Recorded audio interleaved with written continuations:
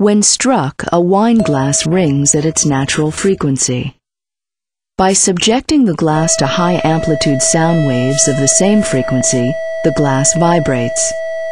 The sound waves reinforce the vibrations, continually adding energy to the glass. This is resonance. Eventually, the amplitude of the vibrations becomes stronger than the glass can withstand, and it shatters.